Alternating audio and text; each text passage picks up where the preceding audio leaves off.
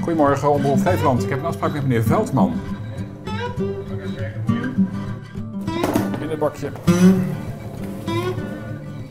Goedemorgen, Richard Goedemorgen. Veldman, Omroep Flevoland. Veldman vestigingsdirecteur P. Lelystad. Ja, waar ben ik nu? Binnen de muren, door Ja. de beveiliging heen. Ja, Maar waar ben ik nu? u bent nu in het voorgebouw en eh, dit is de centrale ruimte waar het personeel eh, binnenkomt. En eh, ja, hier kunnen we naar binnen gaan als, als we willen. In de PI Leesstad. Hoeveel mensen zitten hier nu?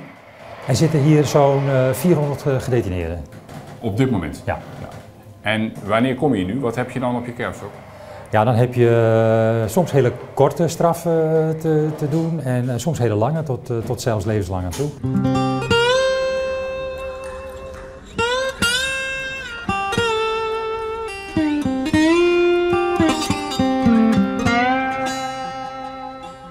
We zijn hier in de lange gang onder de Leesstad. Hier komen de gedetineerden binnen. Ja, dit is de inkomstenafdeling, heet het BAD.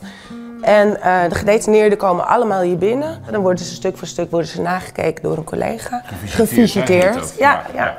En Dat wil zeggen onderzoeken op, eh, of ze dingen bij zich hebben die niet naar Die binnen niet eh, toegestaan zijn in de inrichting. Komt dat voor?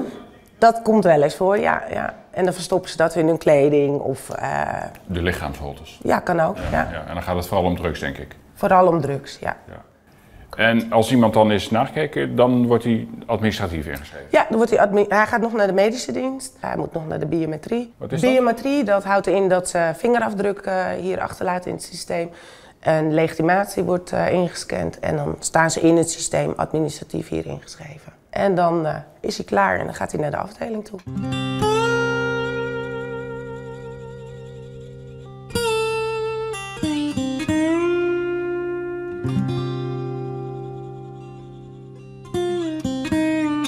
Zomaar even op bezoek bij Twan, Ja, eh, op blok F. Hè?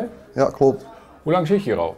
Drie maanden, vanaf 10, 10 juli. Ervaar je het nou als een straf om hier te zijn?